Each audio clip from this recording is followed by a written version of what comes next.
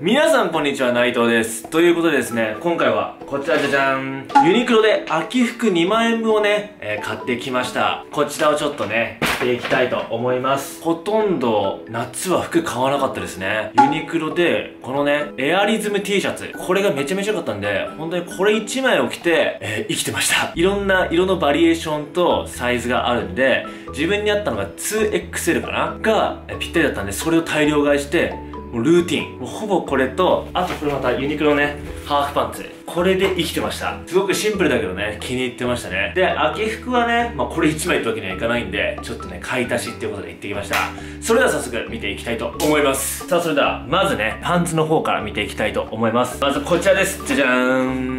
ウルトラフィットスキニーかな。まあ大定番ですね。ユニクロでのスキニーといえばねもうこれは変わらず定番で置いてある商品ですね。ここのね、裾のところなんてね、こんなに伸びるんですよ。で、え僕の、え服を選ぶ基準っていうのは、すごく明快に決まっていて、え下は変えません。えーズボンは同じものを履き続けます。それを毎回毎回、え今日はどれにしようとか考えないです。変えるのは上だけ、下は固定。これだけで服をね、選ぶ時間がかなり短縮になります。え僕は、えおしゃれに見せたいんじゃなくて、ある程度清潔感があって、綺麗に見せられればいいっていうタイプなんで、下は固定。そして上だけで変化を楽しむっていうことですね。なので夏の間はこのハーフパンツをずーっと履いてました。もう買えないっす。人に何て言われようと買えないのこれは。いいねズボンなんて誰も見てないから。なので今年の秋もこれ固定になると思います。で裾直しをして結構くるぶしだけのあたりにしてもらってますね。それじゃあ早速履いてみましょう。はいそれでは履いていきたいと思います。せーの。よいしょー。はいということで久々の長ズボンですね。なんかちょっと違和感あるわ。少し違和感ありますねずっと半ズボンだったから。でこれはね30僕は3インチかな。で購入してます。で丈感もね、えー少し短めにしてスッキリっていう感じです。で俺が下を変えたくない理由っていうのはもう一つあってこのねキーリールチェーンをつけてるんですよ。ここでキーリールチェーンをつけてこういうふうに伸ばしてね鍵をね開け閉めできるようにこれ超便利なんでぜひみんなもやった方がいい。でズボン変えるとこれもね毎回付け替えなきゃいけなくなっちゃうんですよ。そうすると忘れる時あるでしょ絶対。あ今日付け忘れた。鍵忘れたって。だからその忘れ物防止も兼ねてここにずっとつけておきます。はいじゃあ2つ目いきたいと思いますはい2つ目はこちらです。じゃじゃーん。えー、ハーフソックスです。ユニクロさんね昔ハーフソックスなんかわけわかんない柄しかね販売してなかったんですよ。なんかスポーツソックスとか普通のソックスの長さだったらシンプルな白とか黒とか置いてるのにいきなりハーフソックスになったらなんかね意味わかんない模様だけのようになるの。それめちゃめちゃ嫌だったね俺。ハーフソックスもシンプルなのでいいじゃんと思って。ハーフソックスになると急になんか絵柄いっぱいつけ始めて。全然ねなんかかっこよくなかったんですよ。でも去年ぐらいかなからハーフソックスでシンプルな柄が出ました。しかもこれヒートテックなんですよ。だからあったかいっていう。長いパンツを履くとき長いジーンズを履くときは、えー、くるぶしだけにしてるんで少しねチラ見せしたいんですよ。ソックスを。だからハーフソックスを選んでます。これねすごく嬉しいです。昔なんでねハーフソックスになると黒と白売らないんだろうってね超疑問だったんですよ。はいこんな感じですね。見えるかなんな感じです。はい。続いて、えー、3つ目。3つ目はこちらです。じゃじゃーん。はい。大好きなスウェットプルパーカーです、えーこのスウェットプルパーカー今期間限定で1990円というね格安でした。でスウェットプルパーカーって分厚すぎないんで秋口にねかなりぴったりなんですよ。これ1枚羽織って出てくみたいなのがね秋の気温にはぴったりだと思うんでこれはねすごくいいと思います。で今ですねユニクロ U の方でかなりねかっこいいパーカー出てるんですよ。もうフードの立ちとかもねかなりしっかりしててえ高級感のあるパーカー出てるんですけどそれはね少し厚すぎるなと思ったのとあと裏肝がすごかったんですよ。スウェットプレパーカーはこれね裏肝じゃなくてなんていうのこれザラザラした感じ。だからね肌心地がいいんですよね触り心地が。俺裏肝って好きじゃないの。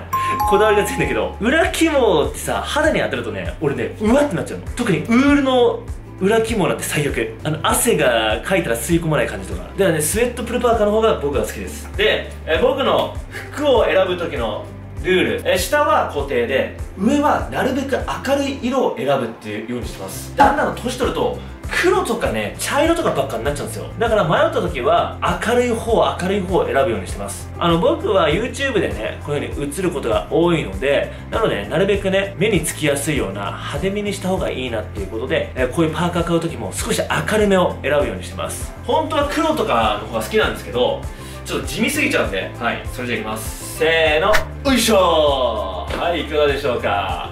めちゃめちゃいい。僕は XL を、え、買っております。めちゃめちゃいいスウェットフルパーカー。本当にね半袖の上に着た時にこの長袖の部分地肌に当たる部分がね気持ちいいんですよスウェットフルパーカーと。これがね裏起毛だとね気持ち悪いんですよ。で特徴なのは、えー、ポケットがねこれサイドについてます。はい。こういう形のじゃなくてこういうふうにポケットサイズでついてます。めちゃめちゃいいっす。はいこんな感じです。これで1990円はめっちゃ安いよね。でこの色だけじゃないです。他には、えー、こちら白と緑も買いました。これも一気にねちょっと着てみたいと思います。白っていうかねクリーム色かな？はいいきます。よいしょはいいかがでしょうか。はいこちらも XL サイズですね。こんな感じですはいそして最後の色。最後の色はグリーンですね。いきます。せーのあい。しゃ決まりました。いかがでしょうか？あグリーンもめちゃめちゃいいね。なんか結構深めでダークなんだけどでも暗すぎないっていう。この色はいいですね。あすごくいい。気に入ってます。いやスウェットブルバーガーマジでいいよこれ。1990円最高。で今ねネットでも調べたんだけどやっぱ素材もシルエットもディティールもね変わってるらしいです。で、えー、ヴィンテージ感をなんか演出してるらしいですね。だから本当に細かい仕様が変わってるんだと思います、はい、じゃあ続いていきましょうかはいそれでは続いてはこちらですじゃじゃーんえこちらユニクロ U のフリースシャツジャケットです。え、これ、ユニクロ U の新作ですね。まあ、シャツジャケットって言ってるぐらいなんで、もう軽く羽織れるかなと思って、秋口にね、やっぱりいいと思うんですよね。分厚すぎると重ね着した時にすぐ汗かくじゃないですか。これはね、本当にね、薄いんですよ。薄いけどフリース素材だから超あったかそうみたいな。これね、秋って感じ。それでは着てみますね。いくよ。せーの。シューはい、いかがでしょうか。フリースシャツジャケットになります。めちゃめちゃあったかい。部屋の中で今の時期着るともう汗ばむぐらい。そう着るだけで汗ばむぐらいもう保温性がすごいですね。でこのねパーカーと合わせてね、えー、フードを立てて、えー、着るのもいいですね。シャツジャケットなんで使いやすいです。はい。こんな感じです。こちらお値段4990円ですね、えー、僕はね一番その明るめのブラウンにしました。あとは、えー、ブラックとダークブラウンかな。の3色展開だと思います。はいこんな感じですね。これ めちゃめちゃいいです。使い回しやすいと思いますね。ちょっと中のパーカーを白にも変えてみたいと思います。そっちの方がね分かりやすいと思うんで。はいいきます。せーの。ドゥシュン。はいいかがでしょうか。え白の方がねこれ明暗がねはっきりするんでねどんな形か分かりやすいと思うんですけど、え今年の秋これだけで乗り切れると思いますね。冬だとさすがにねちょっと寒いかなって思うんですけど。だから今の時期だったらスウェットフルパーカーだけで外に出てでもう少し11月頃になってきたらこのねフリースシャツも一緒に着るっていう。そういう使い分けでいいかなと思います暑いはい続いて最後最後はこちらですじゃじゃーんこちらのコージロイワークシャツです、えー、こちらお値段2990円でございますコージロイになっておりますでさっきも言ったんだけどコーデュロイも俺ね、肌に直接当たるのは嫌なんですよ。そう。なんかガサゴソして。でもこれ、ちゃんとね、袖のところら辺は、えー、コーデュロイじゃなくて、ツルツルした感じになってます。なので、着やすいんですよね。突っかからないっていうか、肌を通しやすい。なので、表側だけコーデュロイ。はい、じゃあ着てみます。せーの。ドンはい、いかがでしょうか。ちょっとね、中のシャツがね、今日白なんで、見にくいかなと思うんですけど、えー、特徴としてはですね、こちら、両胸にポケットがついてるんでね少し可愛らしい印象になると思います見えないってはいこんな感じねこれダブルでついてるんですよでやっぱりね工事例なんで暖かいです。このシャツ1枚でもね、えー、家の中で今着るとね汗ばむ。はいこんな感じです。以上の点数で2万800円かな全部買って。っていうお値段になりました。えー、一番気に入ってるのはねやっぱりこのねスウェットプレパーカー。これ最強。これはもう安いのにね着心地いいっていう。あとこれこのねシャツ。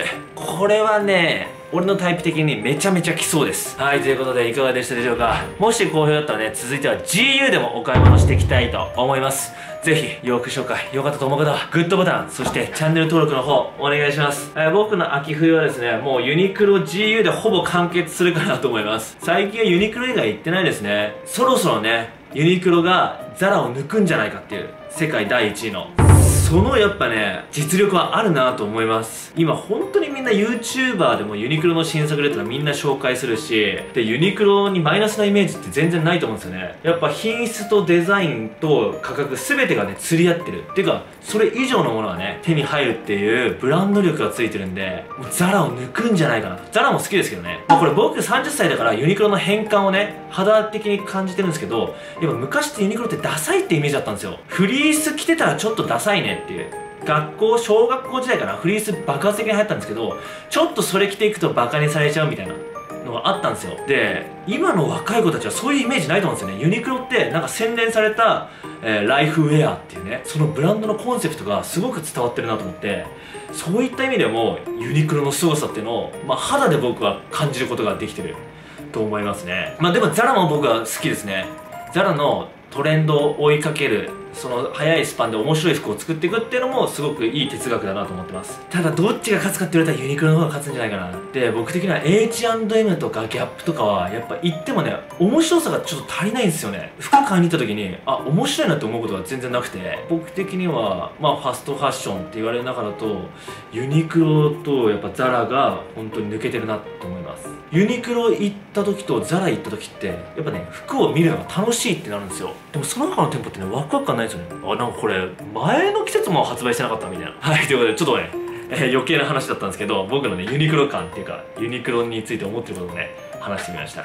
はい以上です。ということで高評価そしてチャンネル登録の方お願いします。それじゃまたね。バイバーイ。